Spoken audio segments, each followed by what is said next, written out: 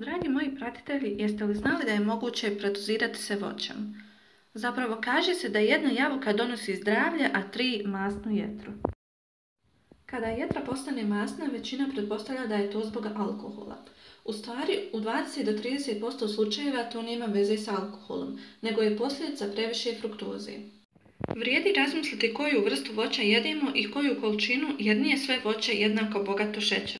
Banane, jabuke, šljive imaju mnogo više šećera od naranđi ili šumskog voća. Nije nevažno ni kako se voće konzumira. Svježe voće je bolje od procesuiranog. U voćnom soku voće visoke koncentracije i brže dospjeva u krvotok.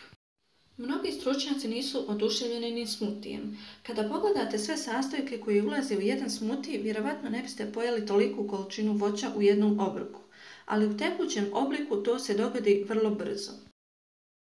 Drugim riječima, konzumaciju voća treba prilagoditi životnom stilu. Ko želi započeti dan sokom od naranđe, mora i vježbati da potroši uneseni šećer.